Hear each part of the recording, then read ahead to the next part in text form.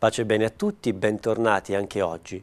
Ricordiamo Santa Paola, ascoltiamo la sua vita.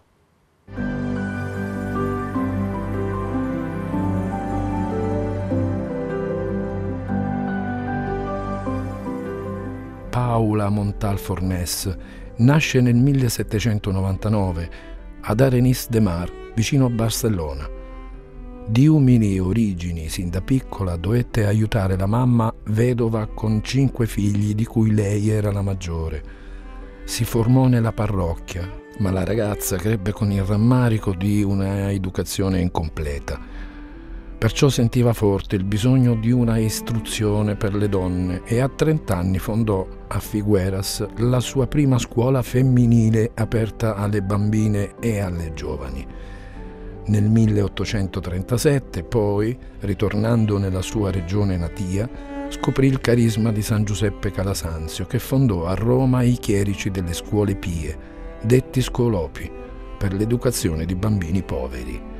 Entrò in contatto con i padri scolopi e nel 1847 pronunciò i voti dando avvio alle figlie di Maria delle scuole pie e continuando a fondare numerose scuole.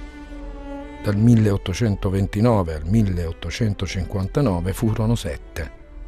Dal 1859 poi si trasferì a Olesa di Montserrat, un piccolo e povero paese ai piedi del monastero della Vergine, per la quale sentì sempre una grande devozione e fino alla morte avvenuta nel 1889 lavorò per far crescere la sua congregazione, che oggi è diffusa in tutto il mondo Madre Paola Montal partecipava attivamente alla spiritualità calasanziana ed il suo particolare carisma educativo, orientato verso la formazione umana e cristiana integrale della donna, continua ad essere un tema particolarmente attuale.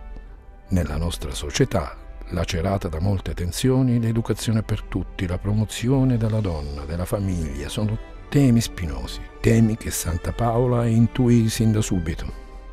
Il suo carisma fu annuncio di amore e speranza, soprattutto per la donna che scopre in lei la madre e la maestra della gioventù femminile ed ancora oggi continua ad essere urgente e piena di attualità, come lo fu allora.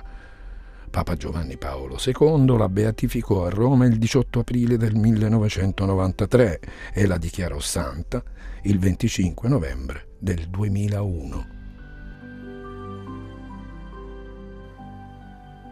Come abbiamo ascoltato, Santa era cresciuta con questa consapevolezza, quella che le era mancata una adeguata preparazione, una preparazione culturale.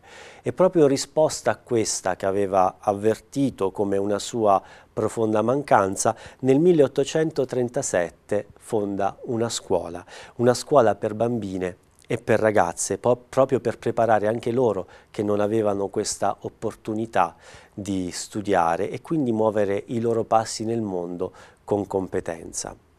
Quella dell'istruzione è un'opportunità che noi riconosciamo essere un diritto per tutti al mondo di oggi, però chissà se effettivamente tutti quanti hanno poi accesso alla scuola, alla formazione, così come dovrebbe essere anche chi non ha gli stessi strumenti, non parliamo di quelli pratici, parliamo quelli dell'intelligenza e che quindi fa un po' più fatica per acquisire un determinato contenuto, ecco, queste sono le persone, i nuovi poveri, sui quali noi dobbiamo eh, porre la nostra attenzione, anche se non siamo insegnanti.